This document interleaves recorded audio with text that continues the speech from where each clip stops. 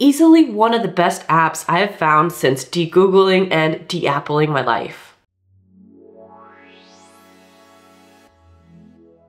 For those of you who don't know, I decided to leave the Apple ecosystem last year, and this year I decided to de-Google my life.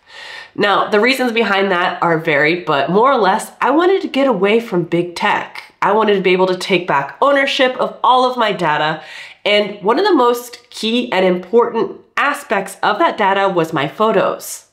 I didn't want my photos being scanned and training some big tech AI algorithm, so I decided to do some research and find an open source photo application to store my photos.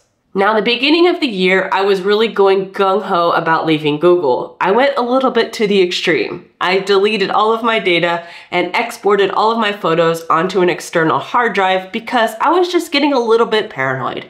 Yes, I went a little bit far, but in the end, I ended up discovering this amazing app, Ente Photos.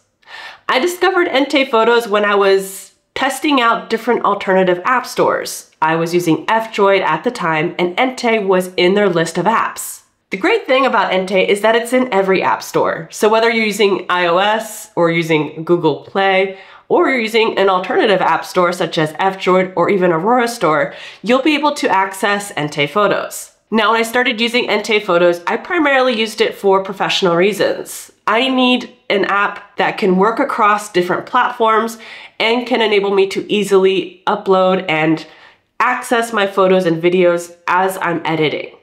This is a non-negotiable for me. This is something that I used Apple a lot for because I found it convenient that it worked cross devices. Well, if you had Apple devices, that is. What I love about Ente is that it works on every device, whether you have an Apple device, Android, or more importantly, Linux. I had also decided to leave Windows this year, so I am using Linux, Fedora to be exact, and I needed an app that worked on the desktop, and Ente Photos does that. I was able to easily take my videos, access them via my desktop, and edit seamlessly. This was a huge advantage for me, and it really changed my workflow in a positive way. For those of you who don't know, I'm constantly testing different devices, whether those devices are Apple devices, Android, custom ROMs, and even more recently, a Linux phone.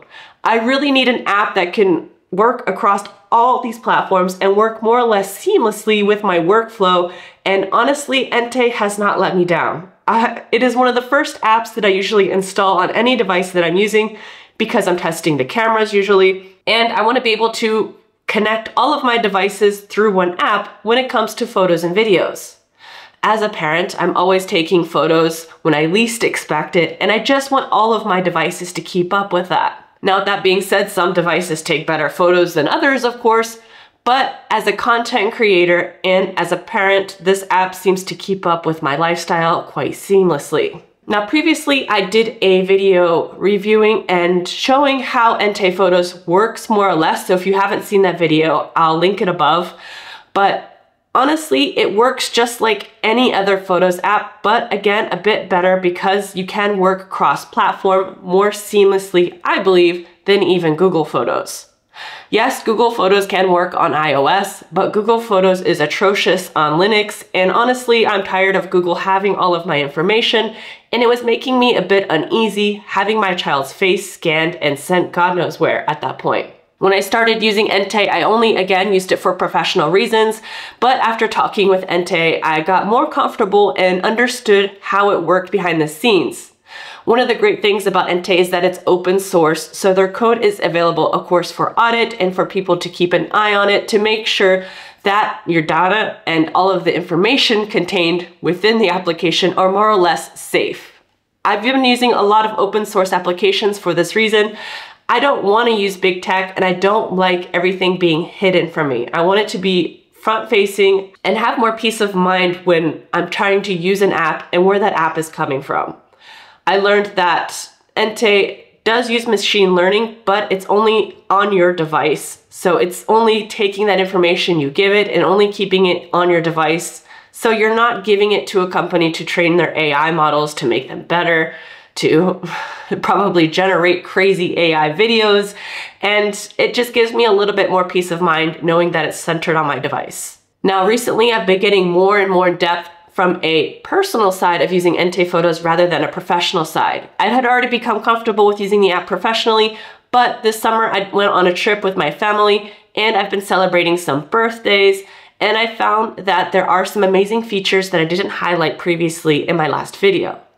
Now, as far as going on trips, I know some people might be more organized with putting their photos in specific names, dates. You can do that easily on Ente Photos, of course, but some of us are quite lazy, like myself. We've become accustomed to tech kind of taking that task out and not having to think about it as much. And Ente does divide things into albums, of course, and also highlights people without names. You can choose to add names if you wish, and it groups things by dates and locations.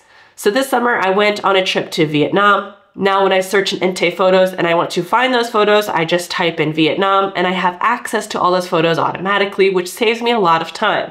I don't have to go into my Photos app and automatically label things, put them into specific albums. It just is a peace of mind. Another cool feature, of course, that you find maybe on other photo services, but makes it that much more important when you're not using other services, is that you can create a shared album. Recently, my son celebrated his fifth birthday.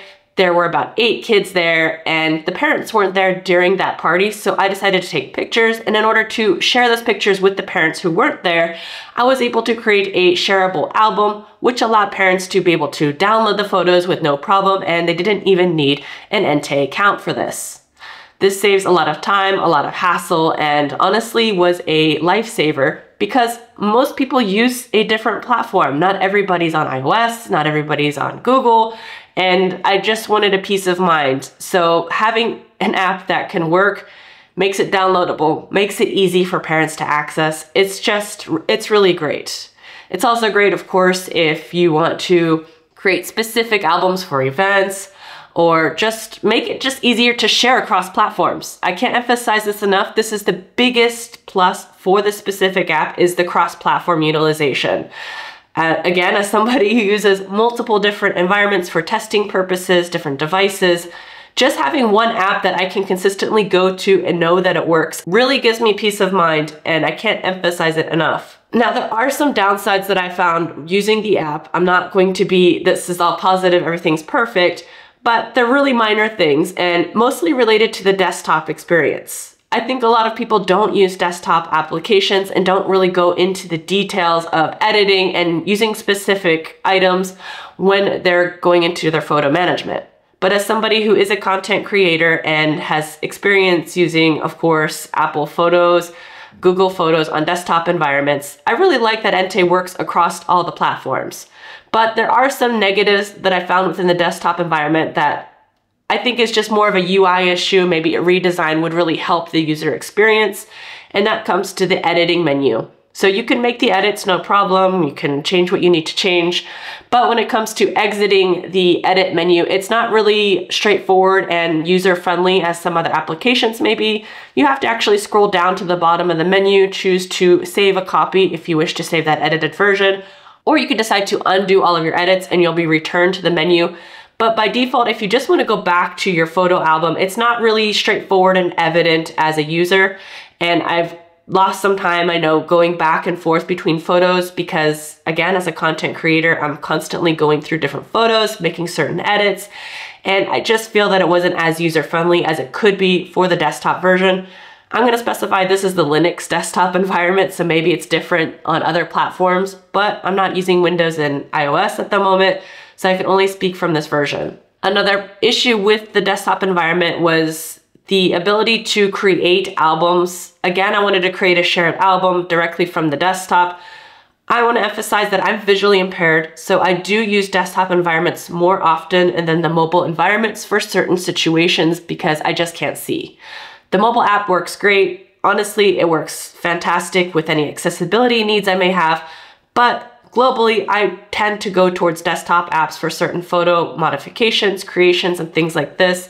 And I found it difficult to find how to create a new album for me personally and be able to share that album easily. Um, this happens on a lot of apps, to be honest. I think most apps are not optimized for desktop apps because people tend to go to their mobile phones and that's completely understandable. So desktop apps usually fall behind when it comes to the development updates. One huge plus I found for this specific application was the pricing. Now, I was spending a lot of money with Google Storage and with iCloud storage. I was spending at least 100 euros per year managing both of my photos on different platforms. I had a lot of duplicates, of course, and it was just a big mess and a big money pit, to be honest. When I switched to Ente, I got 10 gigabytes for free, so that allowed me to kind of migrate my life, my essential photos at the moment. But once I wanted to upgrade, I found the pricing super affordable and super reasonable for what you get. Um, if you want to suggest for friends or family to join, they can give you free gigabytes of storage. So essentially, you don't even have to pay if you get enough people to create their accounts, which I find is an awesome option. If you're interested in trying out Ente Photos, I highly recommend it. I'll leave a link down below, but you can find their app in any app store, which is great. So if you're somebody who's more open source focused, you can find them on F-Droid, Aurora Store, of course, Google Play Store, and the Apple App Store. I want to thank all of my members for supporting the channel and thank you for watching and see you soon.